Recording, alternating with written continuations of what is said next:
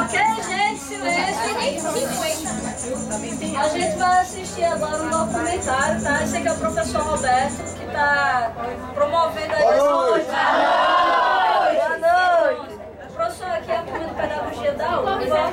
Disciplina de educação urbana, aquela ali é a professora Alessandra, são duas turmas aqui. Legal. Ok? Então, pessoal, o negócio é o seguinte. Existe uma comissão chamada Comissão de, para as comemorações do, dos 100 anos de Djalma Maranhão. Então a gente tem um site, é bom você sair passando esse material, tem um site na internet chamado dhnet.org.br, tudo que está aqui, e a gente está falando, exposição, é, música, é, maquete eletrônica, tudo em lá.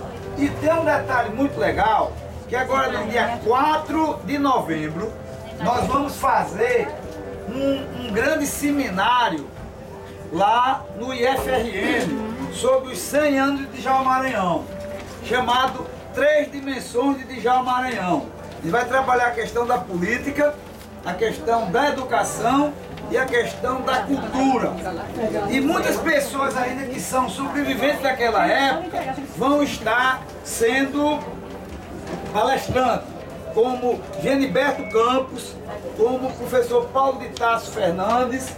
Então, quer dizer, quem ainda está vivo? E a gente também tá, lembra daquele poema de Brecht que fala, que todo mundo fala dos faraós e das pirâmides, mas não fala dos operários? Então a gente está trazendo também pessoas, as professorinhas de pé no chão vão participar. Né? Porque todo mundo fala só das autoridades, né? Mas ninguém fala nem das professorinhas, nem dos alunos. Então a gente está também trazendo no acampamento de pé no chão, por incrível que pareça, o construtor José Ribamar de Oliveira ainda está vivo e vai estar participando disso.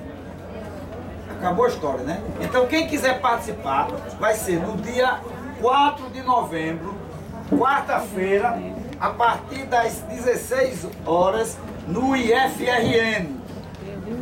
Na quinta e na sexta, continua no IFRN, mas na parte da manhã. Entendeu? Então vai ter toda uma programação. Vocês são da onde? Uva, uva. Quem não tiver aqui em Natal, é só acessar a internet que vai ser transmitido. É só você entrar na página veganeto.org.br barra de Japa. Diga o que eu tenho que fazer. Passa o vídeo. Ó, nós fizemos um negócio muito legal, que foi o seguinte, os acampamentos de pé no chão,